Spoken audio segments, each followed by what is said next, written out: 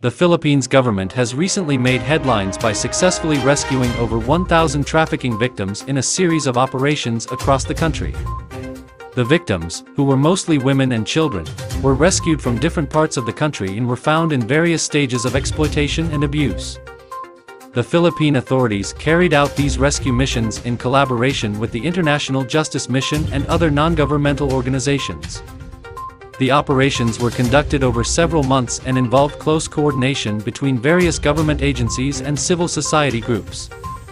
According to reports, many of the victims were rescued from forced labor in illegal mines and plantations, as well as from commercial sex establishments. In some cases, victims had been held captive for years, subjected to extreme forms of physical and emotional abuse. The successful rescue operations are a significant achievement for the Philippine government, which has been working to combat human trafficking in the country for several years.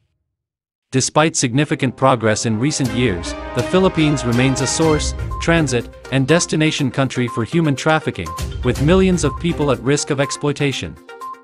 The government's anti-trafficking efforts have included measures to strengthen law enforcement, improve victim protection and support, and increase public awareness of the issue the government has also worked closely with civil society groups and international partners to address the root causes of trafficking, such as poverty and inequality. The rescue of over 1,000 trafficking victims is a testament to the effectiveness of these efforts and the dedication of the authorities and civil society groups involved.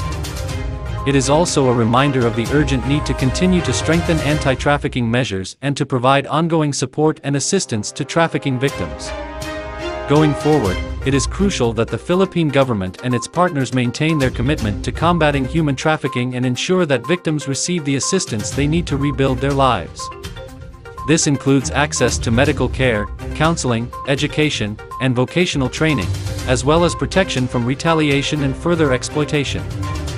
Ultimately, the success of the Philippine government's anti-trafficking efforts will depend on sustained political will, adequate resources, and effective coordination between different stakeholders. However, the recent rescue operations provide hope that progress can be made, and that human trafficking can be brought to an end in the Philippines and beyond.